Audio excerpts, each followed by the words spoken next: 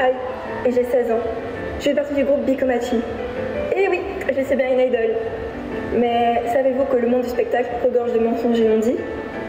Mais parfois, vous finissez par ne plus savoir où s'arrête la vérité et où commence le mensonge.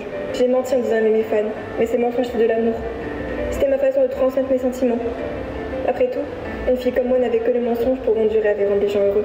Les idoles sont des créatures qui brillent grâce à la magie du mensonge. Et mentir, c'est aimer à la folie.